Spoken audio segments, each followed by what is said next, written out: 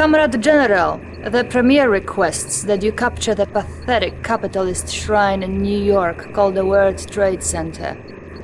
After you overwhelm the American defenses in the area, plant a psychic beacon to secure our control.